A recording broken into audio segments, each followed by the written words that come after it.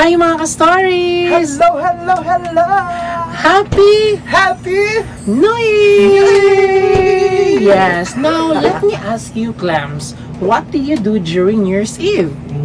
Mga stories Hello everybody! What we did for this New Year's Eve is just a simple meal, my uh, wife and I, just because of uh, this uh, COVID and this couvre-feu. Yeah, it's still lockdown in France when we celebrated Christmas and New Year. So we just really had a simple uh, dinner for two. And we really didn't have a big feast like the other families or the other people that they do in other parts of the world. So we just had a simple dinner, just enough for us, and a quiet, simple New Year celebration. Bye-bye! everyone. My name is Mary Grace. I am a call center Um, how do I celebrate my new year? Um, way back three years ago, I spent my um, new year with my family. But when I entered BPO industry, um, I usually celebrate my new year at the office working. Ah, kana pending with my family after kay pandemic man karon na puyo na sa sabalay. Well, siguro if this year maka-celebrate na tag maayo, okay na tanan. Wala ba? Pero sa Diyos ako ni save karon kay sa balay lang sa kita.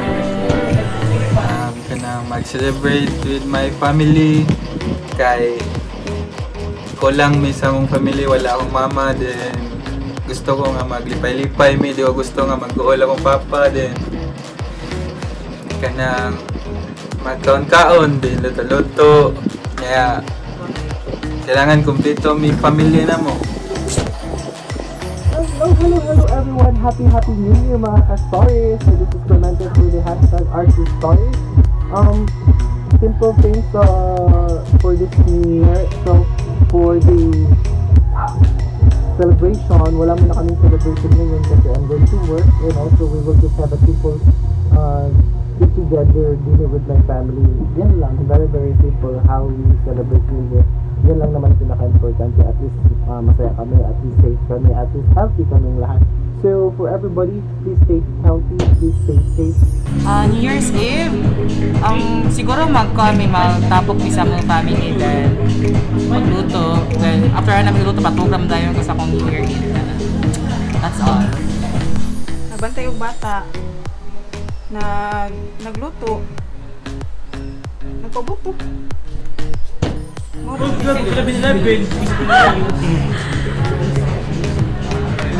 At sa akong kwarto. Kaya ka! Buhatan ako ka ng New Year's Eve is kani, syempre, uh, get together with family. Syempre, after that, kani, magtagay ta ay tagay with with cousins and silinga neighbors. Then after that kanang mm, more siguro kanang magtagay me with with my cousins then ginatagay siguro. Then after that natug. Then kaugma siguro ana ay after mga tomorrow ana kay ngadto mi sa katunay mga panghatag na mga kanang like kanang mga hatag bugas kay syempre nga na mo dito sa mga dapit na mga panghatag after New Year then ato after man na Um, kuan, pagkaon niya.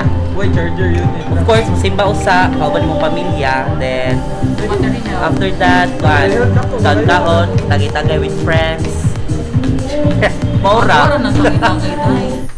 What we doing in New Year's Eve is going just doing um I mean just resting since I have work early in the morning by January 1st then I can't go home since I'm from Bohol due to COVID so I'll be working and that's fine as long as everything is uh, in good health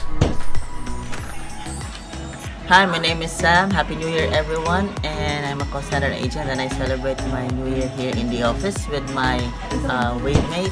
During New Year's Eve, I was with my husband. Together with our friends, we went to this uh, Filipino restaurant. They serve really great and delicious food, very authentic Filipino cuisine. And after that, we went to have some coffee to this uh, very uh, cool cafe.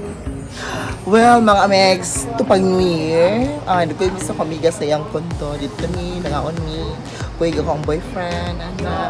After ana, banding ni, sa sayaw, light, disco, ana. Yan, nagpalihi og bum bum ah, ah, alam yun na, di ba? Palay show. And after that, tungulit mi diri, bisita mi siyang mother, ana, pagka morning na, ana. And then, mo na to siya mga ameg, susuri mi sa ilahang sapa nga grabe ka andan nga kung nalang mahugmo mi ana. Thank you guys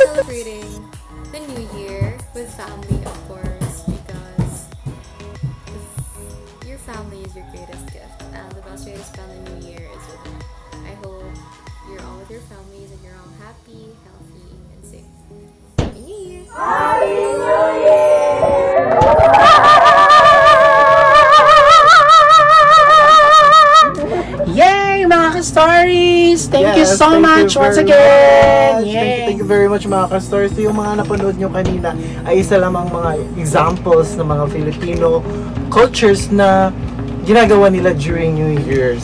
Yes, New Year's Eve specifically, di ba? So kayo din, kung ano yung mga best thing to do during New Year's Eve, leave comment down there. Yes. Yes, thank you so much for your support mga ka-stories. Happy, Happy New Year once again! Happy New Year at saka Yes. bless. Ingat po kayong lahat. Bye! Ano, please don't forget to subscribe and click the notification bell to be updated with all our videos. Because I always remember, every guessing is a blessing! See you again next time mga ka-stories. Bye!